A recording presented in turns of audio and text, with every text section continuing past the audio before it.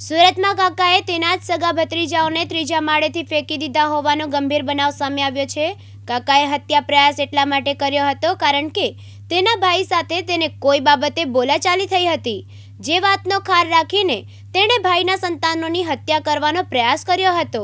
સમગ્ર મામલે પિતાનું કહેવું છે કે તે કામ પર હતા તે સમયે તેના ભાઈનો ફોન આવ્યો કે તે ગામ જઈ રહ્યો છે, પરંતુ જ્યારે તેને ખબર પડી કે તેના બંને પુત્રો નીચે પડી ગયા છે ત્યારે તે તુરંત જ હોસ્પિટલ પહોંચ્યો. જ્યાં એક બાળકને ભાન આવતા તેણે કહ્યું કે કાકાએ તેમને નીચે ફેંકી દીધા હતા. બંને ભાઈઓને ત્રીજા માળેથી નીચે ઝાડી ઝાકરામાં ફેંકી દેતા તેઓ ગંભીર રીતે ઘાયલ થયા હતા. જેથી તેમને સારવાર અર્થે સિવિલ હોસ્પિટલમાં ખસેડવામાં આવ્યા હતા.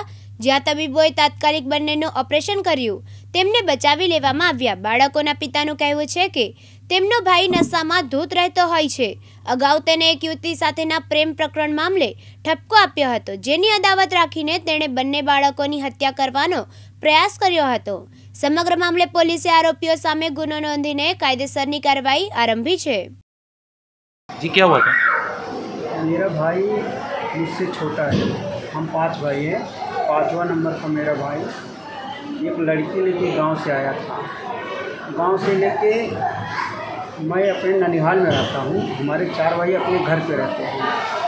तो मैं घर, मेरा मामा ज़मीन दिया है। मैं उसी ज़मीन में अपने पैसे का घर बनाया। तो लड़की लेकर के मेरे मामा के यहाँ गया। मेरे मामा के यहाँ गया तो हमको पर वो लोग फ़ोन किया यहाँ पर कि ऐसा तुम्हारा भाई लड़की लेके आया है। मैं बोला कि उसको घर पे मत रखो, वहाँ से भगा दो। और अपने भाई से बात किया, जिस लड़की को लाया तो उसके घर पे पहुँचा दिए ये अच्छी बात नहीं, बहुत गलत बात कर रहा है। बड़ी बदनामी होगी, बड़ी बेजती होगी। तो मेरे घर का जो पिछले साल मैंने रूम बनाया, उसका चाबी वो मुझसे मांग रहा था, मुझे चाबी दे दो, मैं इसी घर में रहूँगा। मेरी दीदी और मैं बोला कि मैं घर बनाया हूँ, अपने लिए तुम्हारे लिए नहीं बनाया हूँ। तुम लड़की लेके भागे हो, तुम जाओ, कहीं भी चले जाओ, लेकिन मेरे घर में मत रहो, मैं तुम्हें दूँगा नहीं। तब तो घर वाले से मना कर दिए चाबी नहीं देना।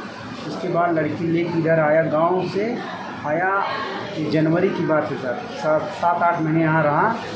तो कुछ पता चला गाँव वालों से तो उसके माता पिता मेरे पिताजी का गला उला के दबाया।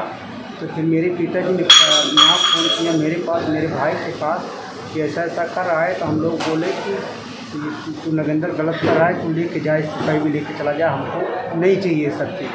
हम घर वाले मारे जा रहे हैं।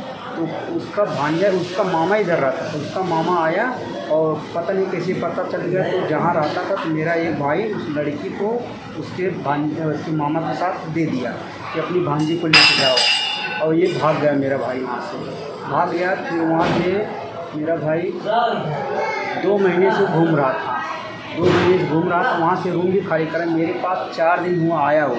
चार दिन हुआ आया, आने पर वो बोल रहा था मैं घर जाऊँगा, जिस लड़की को लाया उसके बाप को जान से मार दूँगा। फिर मेरे भाई बोलता था, उसको जान से मार दूँगा। मुझे जान से मारने के लिए नहीं बोला मैं मेरे बेटे को बोला। तो फिर जब वो लड़की चली गई वो लोग केस करना चाहते थे, पर केस नहीं किया। सब प्रधान गाँव का और सब मिले कि भैया जान दो, माफ़ कर दो, बच्चा है, गलती हो गई। तो केस नहीं हुआ उसको लड़की वाला। तो ये यहाँ पर आया मेरे पास चार दिन हुआ।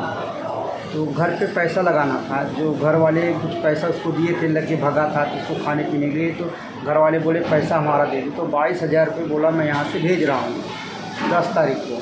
तो दस तारीख को पैसा नहीं भेज पाया, फिर तीस तारीख को बोला तो मैं तीस तारीख को बाईस हज़ार लगा दूँगा। यासिन दारा दिव्यांग न्यूज़, सूरत।